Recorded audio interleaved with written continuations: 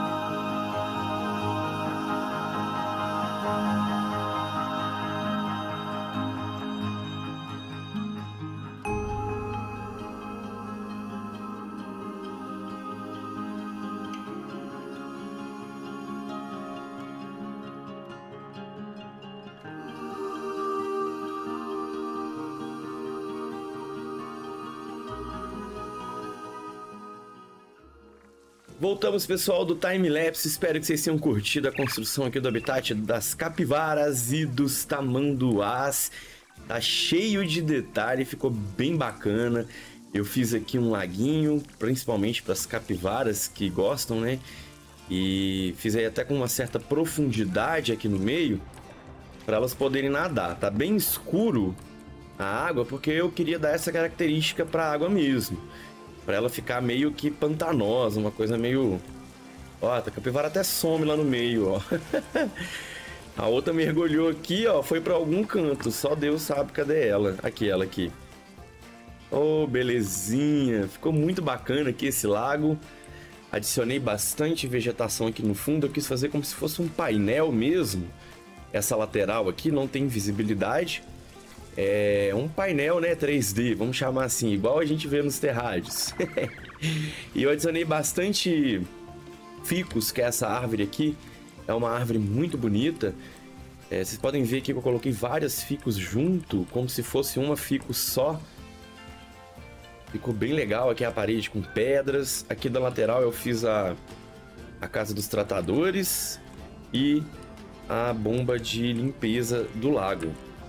Eu não ia fazer outro, outra casa dos tratadores porque é um habitat bem do lado aqui do da nossa do avestruz e do porco africano, do javali africano.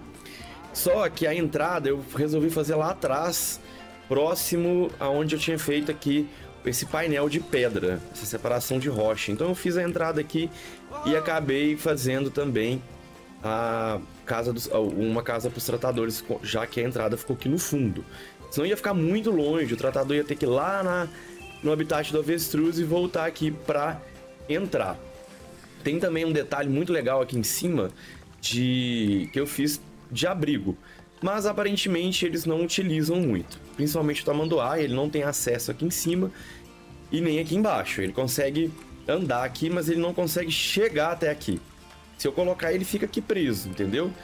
E a capivara consegue subir nos dois, mas ela não utiliza muito esse esse esse abrigo elevado que eu fiz. Cara, queria muito que elas utilizassem aquele abrigo ali, mas infelizmente elas não estão utilizando muito. E aqui eu fiz tipo uma ilhazinha de concreto, ó o bug. Uma ilhazinha de concreto para elas virem tomar um solzinho aqui com as suas amigas capibara. Olha aí que lindo, já tá cheio de capivarinha. Olha que loucura, ela vem andando aqui e pula, mano. Que doideira. Coloquei vários detalhes aqui de... Como é que fala? Lodo? Musgo. Tem também as rachaduras aqui da, da rampa. Eu acho muito legal esses adesivos que o jogo oferece pra gente colocar para fazer detalhe. Ficou show de bola. Fiz aqui, fiz aqui dois abrigos, esses abrigos aqui sólidos, porque não estava sendo suficiente, já que eles não, não estavam utilizando muito ali em cima. Principalmente os tamanduás, que não estavam utilizando, eu precisava fazer mais um abrigo, mais um tipo de abrigo sólido. E eu construí esse daqui de pedra, Infelizmente, ele não esconde os animais das pessoas. Eu já tive um problema aqui com o tamanduá na, ao longo da edição aqui do cenário e ele estava estressado, cara. Eu acredito que seja por causa da presença das pessoas. Talvez eu faça algum outro tipo de abrigo é, escondido, né? Tipo uma caverninha para eles ficarem. Vamos observar como que eles vão se comportar aqui ao longo do tempo, tá? Se for preciso, eu faço essa esse abrigo sólido aí mais escondido para os tamanduás. Ficou bem legal, cara. Fiz aqui uma construção também para dar uma, opa, para ajudar a galera a não ficar no sol. Fiz tudo em volta aqui, adicionei também já os telões de identificação, é, os alto-falantes educativos aqui no chão, tem vários espalhados. Bem bacana, bem legal. show de bola, galera. Eu espero que vocês tenham curtido. No próximo episódio, vamos tentar trazer um episódio um pouco diferente. Vamos fugir um pouco aí do time-lapse, da construção de, de habitats. Vamos tentar fazer algo diferente. Vou ver se a gente melhora o nosso zoológico. Eu preciso colocar iluminação. O nosso zoológico está sem iluminação. Aqui vocês estão vendo que já tem sujeira. Eu preciso trazer lixeira para o lado de cá. A galera tá reclamando que tá com sede, então só essa praça de alimentação aqui não vai adiantar. não vai servir só essas duas, essas quatro lojinhas de bebida. Então eu vou ter que construir mais coisa pro lado de cá, provavelmente mais banheiros também. A gente tem aqui dois banheiros que eu coloquei no segundo episódio. Tem também os banheiros aqui do lado de cá. Mas nós vamos precisar adicionar mais banheiros nos nosso, no nosso zoológico. Tudo certo, meus amigos? Olha, vamos ficando por aqui então. Eu vejo vocês no próximo episódio. Deixa seu like aí para fortalecer o Pig. Se não é inscrito ainda, deixa sua inscrição aí e compartilhe esse conteúdo com quem você sabe que vai gostar para fortalecer o canal aqui. Belezinha, meus amigos? Então nos vemos no próximo episódio. Um grande abraço. Fui.